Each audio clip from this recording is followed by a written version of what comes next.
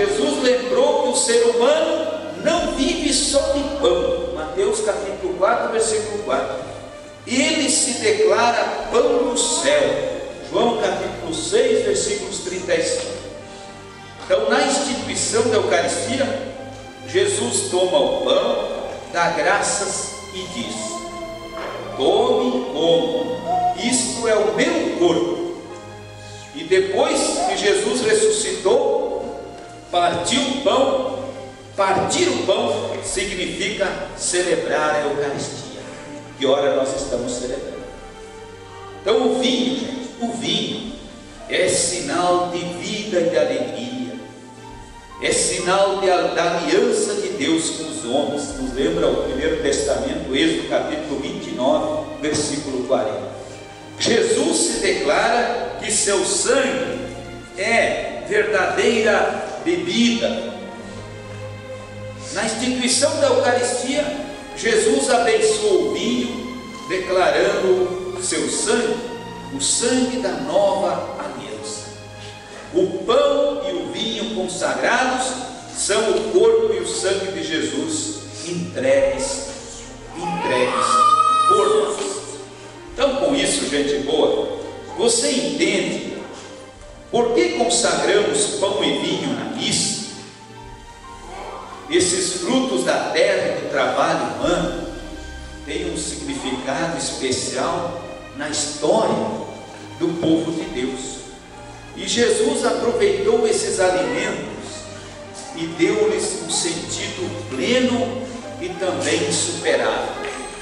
Tornou o seu corpo e sangue, vida de todo aquele que caminha na terra, vida de todo aquele que caminha nesta terra.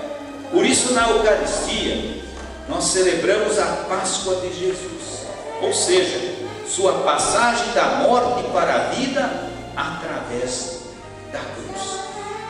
A palavra Eucaristia vem da língua grega e significa ação de graças. Olha que lindo isso. Eucaristia significa ação de graças.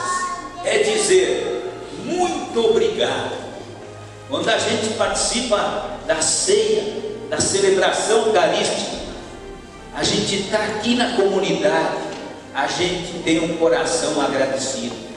Está dizendo para Jesus, muito obrigado. Vamos dizer junto, crianças, para Jesus? Muito obrigado. Muito obrigado.